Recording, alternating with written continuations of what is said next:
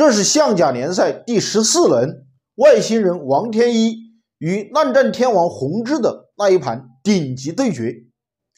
这个棋里面呢，陷阱多多，杀的是相当的痛快。我们一起来学习。红兵七进一，黑炮二平三，红炮二平五，黑象七进五。这在顶级特级大师的对战当中特别少，那现在红旗就不能按部照班的来选择马二进三，而是选择马八进九，黑马二进一，红车九平八，黑车一平二，红炮八进四，封锁。黑方如果跳正马守卒也守不住，两个炮瞄着。所以现在选择进卒，红炮五进四打掉黑士，六进五红马二进三，这样走以后，如果你平炮瞄我这一条线，我随时可以兵五进一，兵五进一，马从中路盘旋而上。所以黑马往前跳，踩红炮，红车一平二，黑马七进五。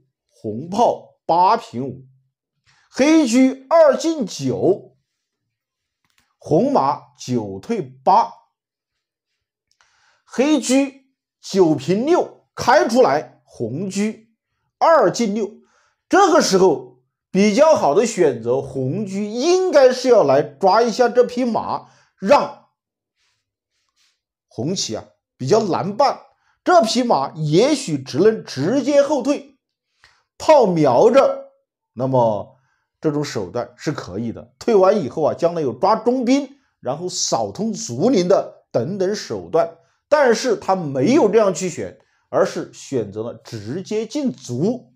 那红补象，黑方跳马，红也是跳马，这里面就要小心。黑方就没有这一招棋，觉得。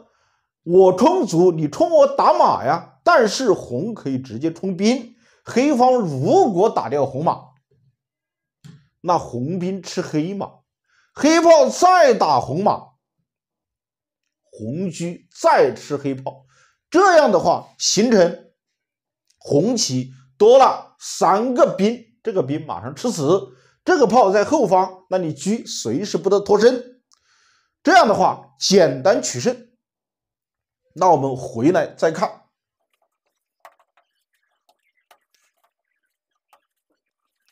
所以棋走这儿以后，黑方并没有冲卒，而是先冲这个边卒。冲边卒的意思就是徐图发展嘛，慢慢来，积蓄力量。那红马再从这里就没有出路，马三退一，黑方进马。把红马压住，红马一进二，准备踩两个卒，那黑炮打掉红车吃回。这时候黑炮凭视角炮找一个通透的路线，将来是否要赶一下炮以后卡象眼这些手段呢？那现在这一门炮是核心，先进车到关键的位置，那黑车。六进四巡河，红补一个徐图发展嘛？你将军也没有用处啊。那走这儿以后，这一个黑车是个巨大的牵制力，因为它不能离开这里。将军要杀棋，离开这条线的话，所以没办法了，只能把老将走出来。那王天一选择将军上，再退车到巡河，这个棋啊。走到这儿以后，显然这一个老将的将位不安，居战巡河以后是要做什么？比如说啊，充卒啊，以及退炮啊，若干手段。显然这个老将将位不安呢，他要回去。红军将他再上来，红军又退回来，他又退回去，循环往复的这么几招棋。最后呢，红旗他不愿意了，因为这个棋不便作和，一将一闲吗？那红旗想到了破解法门，炮五平二，准备拉回来迎头将。那黑方进卒，目的是马上要走车六平八牵制，这个卒也来不及吃了。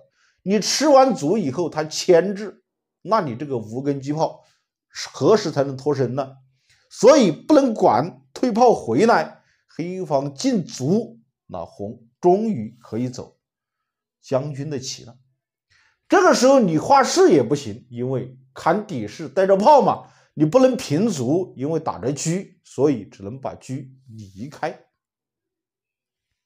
那红兵五进一往前冲，他是诱惑你退马踩，这样的话，他的马可以七进五往中路跳，因为后方有炮，你的卒无法靠拢。那这匹马再出来以后，再上去，再上去或者再跳。那就危险很大，所以车四进二守住卒林线，那红兵就大踏步往前。黑方平炮，红兵再冲，黑炮二进六卡象眼，为自己的三路马奔卧槽创造机会。那红兵是将军，黑卒平开，红兵再将军。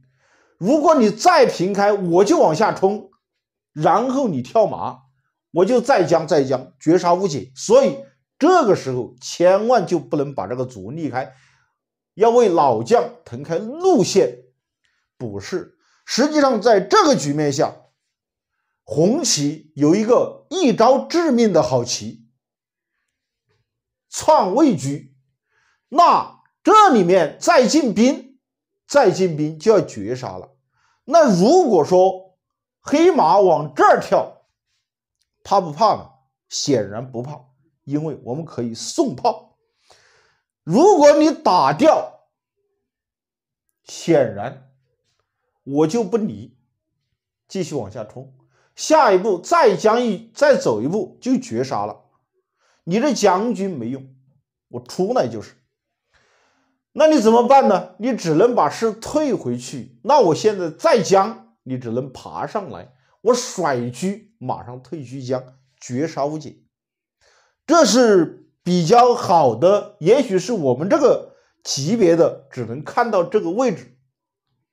但是呢，在高手眼里啊，他并没有这么去选择。我们退回到变化产生的节点这里，那当时。老王就选择了退居将军，退老将，然后再跟住炮。这个炮肯定要赶走，如果赶走以后再进兵也不迟。那这个炮能不能赶走？怎么样去赶走它呢？他不会走，没有地方吗？那他选择了围魏救赵，直接往下冲卒。如果红车直接吃炮，位置比较差一些，那他这个卒子往下冲。如果你直接吃炮，卒子往下冲要吃炮是交换嘛？你离开，他平车，这里是要杀，所以这个炮还得丢。鉴于如此。没有直接吃炮，而是用士化掉这个卒，那黑炮得以逃跑，准备到这里来做文章。红不理，直接进兵。黑方是将军，红抬炮，黑方再平车到八路线，因为平这一条线没用，他这个卒子跑了以后车到这儿，所以他先平这一条线呢，是因为。你将来的车只有这个点位和这个点位呢，那就没有这个二八线好。那红兵吃掉这个，黑方一看呢，这个棋还是有一些风险的，他就先将军。这里面呢，爬上来再将军，他退回去。我们看一下这个局面，如果说。黑车吃这个的话，那红车甩过来就甩这一条线。下一步棋将军是绝杀，你只能进老将，他再进兵，绝杀无解。所以啊，面对这样一个情况，他就没有敢去吃炮，而是先把老将走进来。那这个时候，红车依然是甩到自己的三路线，准备下一手就进兵，然后杀棋。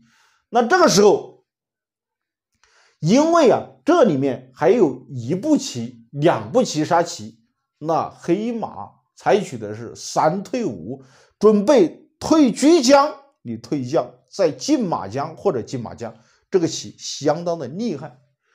那面对这个棋的时候呢？红是这里面进马挡不让你走，那红黑车再将军这里面再进老将，黑车再卡住象眼，这个棋呢是有一些说法。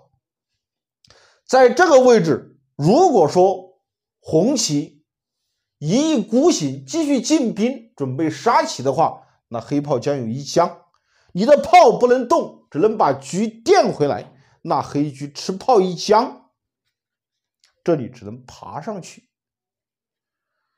然后再砍车。你象调，我们再次清点盘面指令。黑方剩下一马一炮，红剩下一车一兵。显然这个棋，红棋的难度很大。那鉴于如此呢？我们看一下，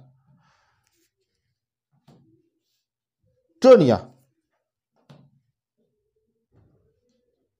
红就没有采取直接一意孤行的进兵，而是把炮平开。